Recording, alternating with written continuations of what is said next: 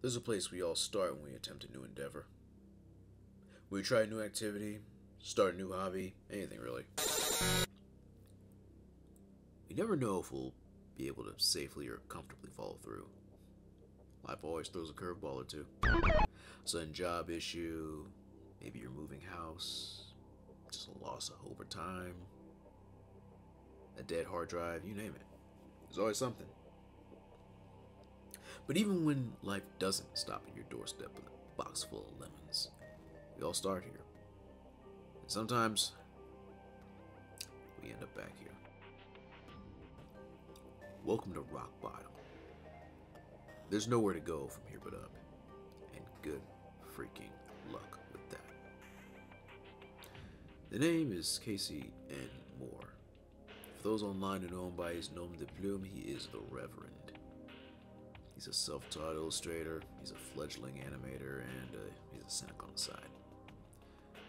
But either way, I'm just another artist here at rock bottom, trying to find himself a way to climb back up, constantly finding myself stuck here. Life, taxes, dead hard drives, they all know just how to kill your motivation to keep climbing. But sooner or later, many of us have to just get up and say, no, we've come too far, we can't just quit now. I made this channel with a goal in mind to archive my journey as an artist and have some fun doing so. The problem is that I never really had a real plan to do that. And during a long, unwanted absence, I've been developing a plan. Waiting for the perfect opportunity to get back to it. But I'm done waiting for a perfect opportunity to return. It's never going to happen. I've already got the plan. So I might as well just implement it and get back to it.